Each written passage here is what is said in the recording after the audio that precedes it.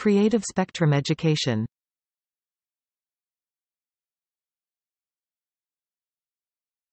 How do you say city in Greek?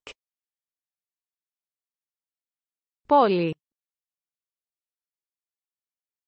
Πόλη. Try to pronounce the word. Πόλη. Repeat the word. Πόλη. You've learned how to say city in Greek. Well done, you did great, and thank you for watching.